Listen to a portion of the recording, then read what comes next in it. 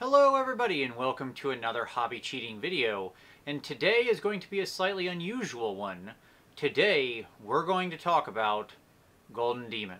Uh, the strict technomancer that is Vincey V. Let us get to the technique and learn it Vincey V style. This video is releasing the same weekend as Adepticon. Now I'm filming this in advance, obviously, because I'm currently at Adepticon, currently participating in Golden Demon. I've been lucky enough in my life to win two Golden Demons in previous uh, challenges, and obviously there's a lot of excitement around this year's Golden Demon in the US, as not only will it likely be the only one in 2022, or it's the only one scheduled this year so far, but it's the first one since 2019. You might have heard there had been some things going on in the world that caused some delays. So I was actually at the Warhammer Fest in 2019 when they announced that the Golden Demon was coming back to the US the next year. That was in May of 2019.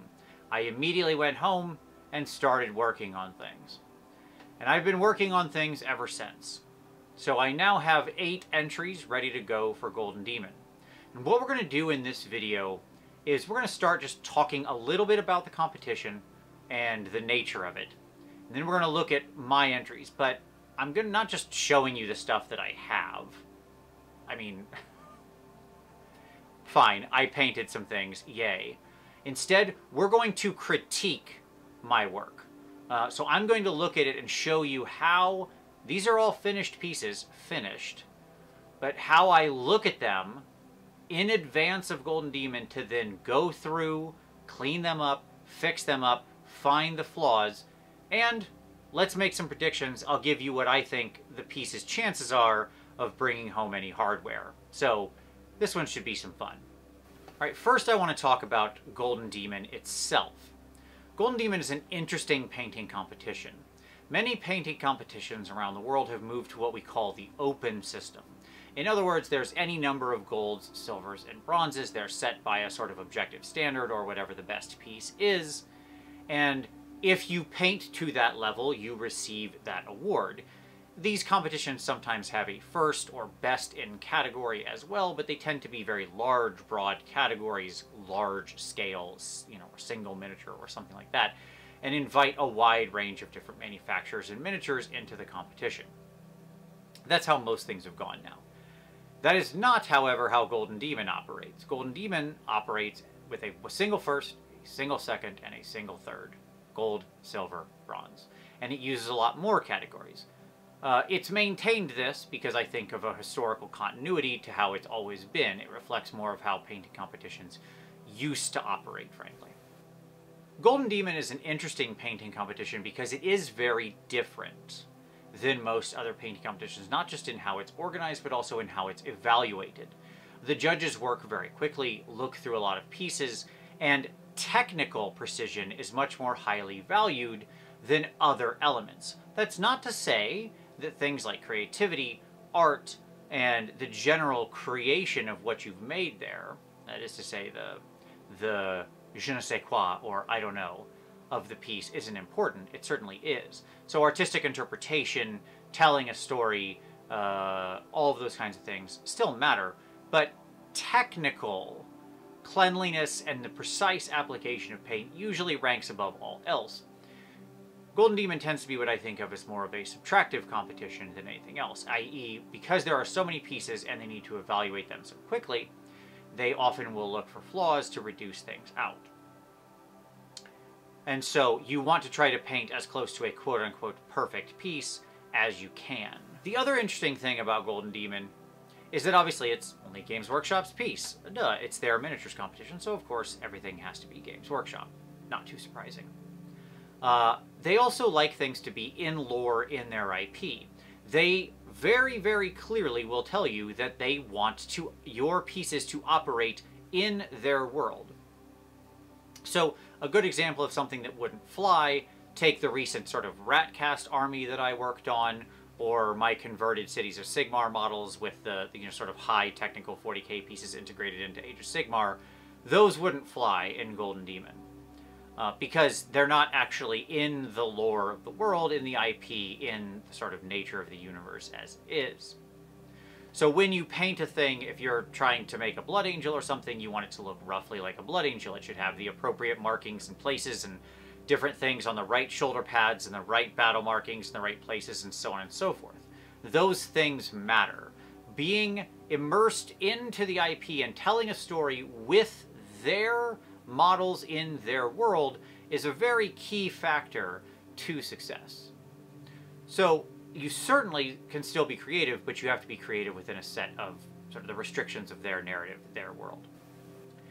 Golden Demon, because of these two things, is very challenging. Now, a lot of people will tell you they only value the heavy metal paint style or something like that. That's not true. They've certainly expanded and will, and have I've seen lots of different types of pieces uh, be awarded.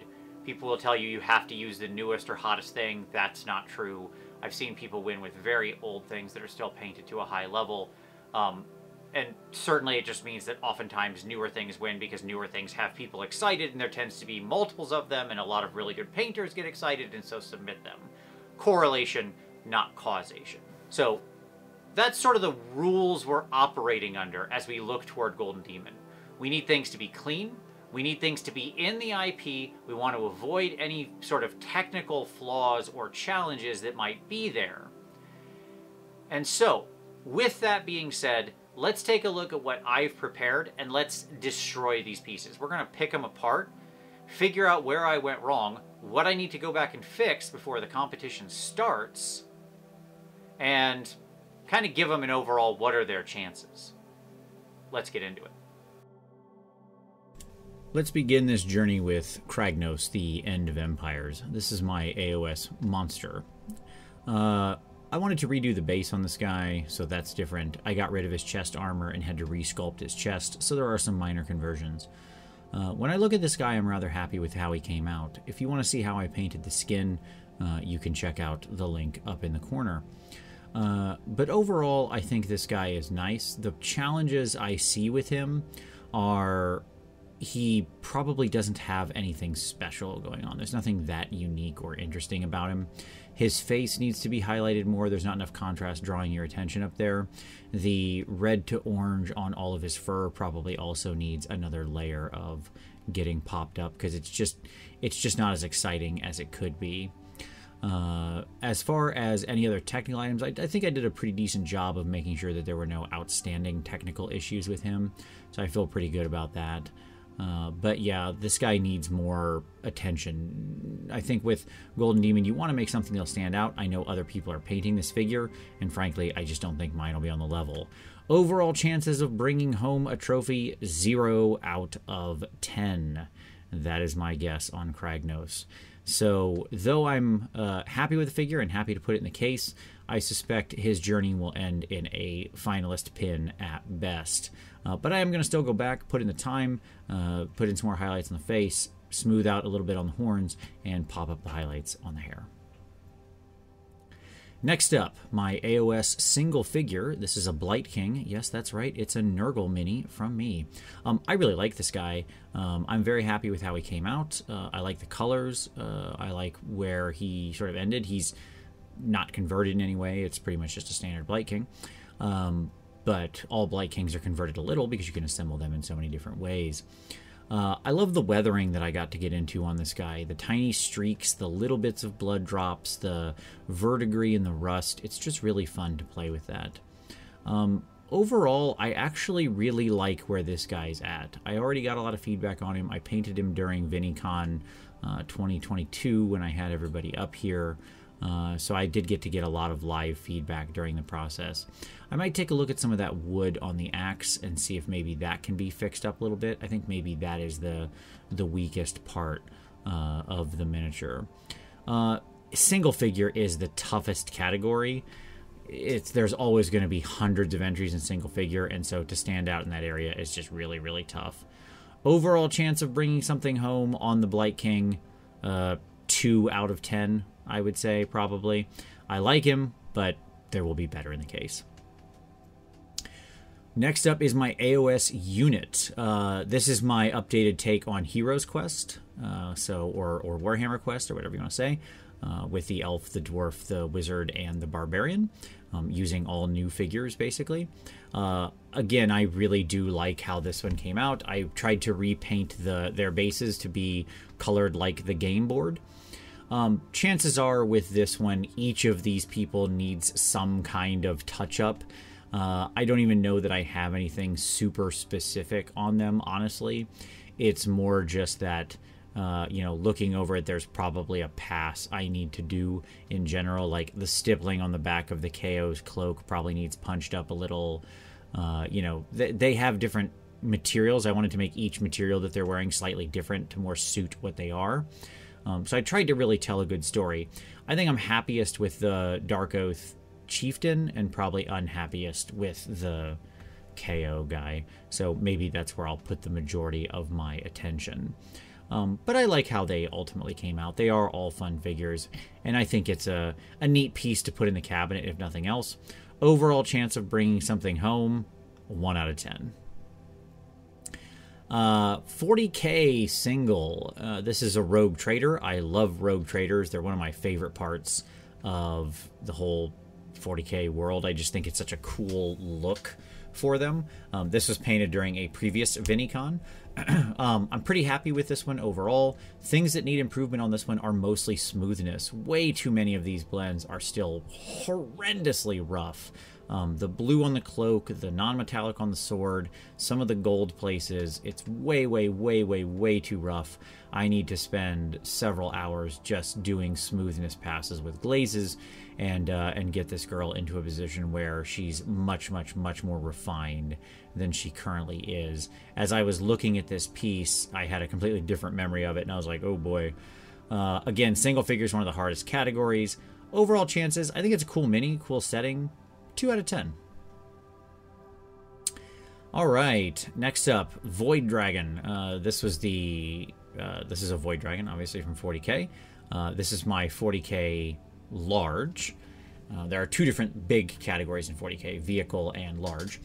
Uh, this one was fun because I painted it in quite a different color scheme uh, than I think the standard Void Dragon is pictured. Uh, with the pink lightning and the the teal body. I really leaned into my favorite colors. Uh, I'm pretty happy with how the musculature on this came out. Uh, I do need to take another pass at the lightning. I think that looks way too rough. Um, some of that is not near as smooth as it should be. I probably do need to do another pass on smoothing out some of the skin as well.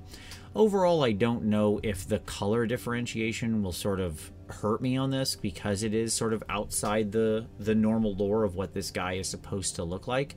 It very well may. Um, those kinds of things do matter, as I said at the beginning. You know, being within the IP. Um, but I'm happy with the piece. I'm happy to put it in the in the case. I think the biggest thing I want to do is actually work some more interesting colors into the shadows. So I might take some light purples and glaze that into the the skin shadows to really kind of bring that home and just punch up the overall visual impact of uh, of the piece. But all in all, not too bad. Chances of winning anything in the large category. The large category is a little bit easier, but still, given this guy between the color and where he's at, I'm going to give him probably a 0 out of 10. Much like my AOS large, he probably ends in a finalist pin and nothing more. All right, next up, my duel. This is one of the pieces I am most proud of that I have ever made. This was a huge effort. This is about 200 hours of work into this bad boy right here. This is Shalaxi, uh, Helbane, hunter of Bloodthirsters. In her backstory, she has killed hundreds of Bloodthirsters, and here she is claiming one more. Um, I have them locked in this titanic duel on the edge of the fire with the light reflecting up into her, you know, sort of lower, you know, underneath her and stuff like that, that very soft glow. Um, all of these metallics are actually true metallics, but I spent a lot of time very carefully uh, working them out. Everything on this piece had just tons and tons of attention, and I've gotten so much feedback on it and refined it. I am, this is probably one of my strongest pieces. So 5 out of 10, 50 50 shot to bring something. I feel pretty good about that. It probably could use maybe a little more refinement. Um, I will give it a pass, but I'm very happy and proud of this one. Next up, Adeptus Titanicus. That's right, the small scale category. I painted a tiny little knight. I love knights in all shapes and sizes. Uh, this guy was, again, he's very much in the lore. I did a lot of research on this particular house, all their different symbols, got all the decals, where does everything go. Still gave it some interesting little touches with a little tiny amount of freehand here and there where it was appropriate, and I looked at it, it, it you know, the, the lore said it was okay to fit, so I made that match. Um, overall, I like how this guy came out. I mean, he is the size of a Space Marine, actually a little bit more squat and short, so it's quite a lot of detail packed in there. Uh, here is the problem. Look at that gun on the right side. Look at that horrible seam line. That's a loser right there. Um, so I will be going through and giving this guy a cleanup pass, like scraping that and then repainting that. Don't ever be afraid, no matter how done you are with a piece, to go in and do something like a scrape and a repaint. If something's wrong, you fix it. No matter when, no matter how late. For a competition piece, you can scrape it back to plastic and repaint it. There is never a time where you accept anything less than your best effort when you're going for a competition like this. Overall chances in this category, I'm actually pretty high on him. 4 out of 10? All right, this is my other big piece. This is for the 40K vehicle. This is the other one I'm most proud of. This was probably 160 ish hours of work.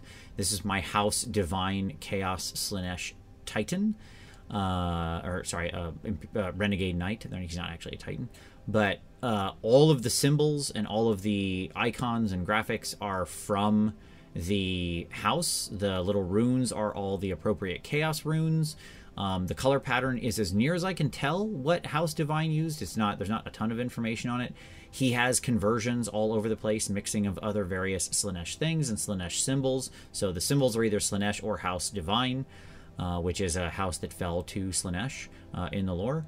Um, I did a ton of research on this guy before I put him together. I am really, really super duper proud of this piece. I just think this is everything I love about Knights. He's this was such a fun project to do. It took a ton of time, but I really love how he came out. Um, I wanted him to be not like most Chaos Renegade Knights and look crappy and beaten down. I wanted him to be cleaner, not perfect. There's tiny bits of rust and wear here and there, um, you know, some weathering and things like that. But it's Slaanesh. It's the it's perfection. And so in this case, uh, I took him a little bit farther. Again, I'll give myself maybe a 5 out of 10. Like, at best, I got a 50 50 shot of walking with anything, but I'm very proud of this knight. He's something I put in maximum, maximum effort on uh, all the way through to capture everything I could about what it meant to be a Slaanesh Renegade Knight. I'm super proud of the base, of just kind of everything that I did with this. So I hope my, my boy here can bring it home. So there you go. That's everything that I did for Golden Demon, my eight pieces. I By the time I'm recording this, there's really not enough time for me to do something else, so this is what we're going with. Um, wish me luck. I, I can't wait to see everybody in person at Golden Demon. I can't wait to see all the amazing pieces that are going to be there from other artists. Uh, I expect this Golden Demon to just be a slam bang awesome affair because people like myself have been building up pieces for a lot of years. I, have seen some of the stuff people are working on, and boy oh boy, is it uh, is it looking like it's going to be just an amazing year. So if you're at Adepticon this weekend, stop by and say hi to me. If you haven't yet participated in Golden Demon, it is a lot of fun if one happens to be near you, so check it out. It's, it's a great thing to go do. With that, I'll say thank you so much for watching. I very much appreciate it. Give this a like, subscribe for additional hobby cheating in the future. We'll be back to normal tutorials next week. But as always, I thank you so much for watching this one, and we'll see you next time.